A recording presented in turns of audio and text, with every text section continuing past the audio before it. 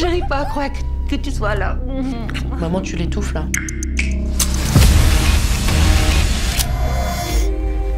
Ça va aller maintenant.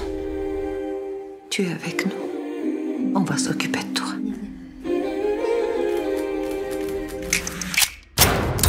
Écoute, je sors première du centre de formation. Je parle cinq langues. Et tout ça pour apporter le bitume sur l'opération Sentinelle. C'est pas exactement ce que j'avais prévu, tu vois.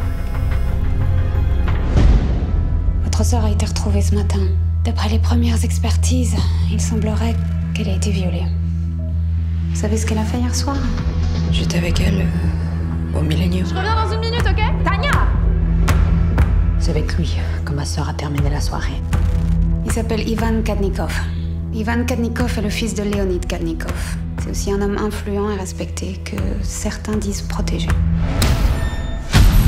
C'est ma parole contre la sienne. Des gens diront que je l'ai cherché.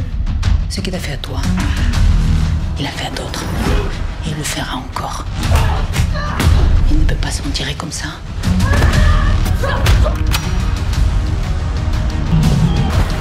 Qui es-tu?